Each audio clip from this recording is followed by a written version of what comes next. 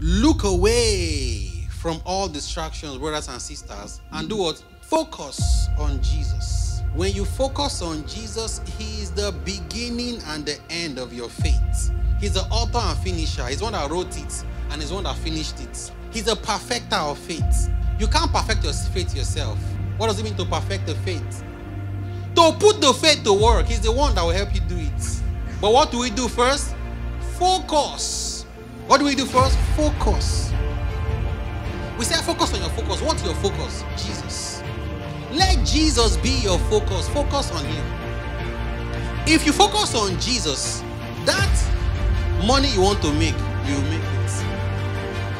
That good life you want to live, you will live it. Jesus, Jesus. You can get more at youtube.com forward slash reality meeting. You can also join us every Sunday at 9 a.m. and Thursdays at 7 p.m. for another glorious session online or on site. God bless you.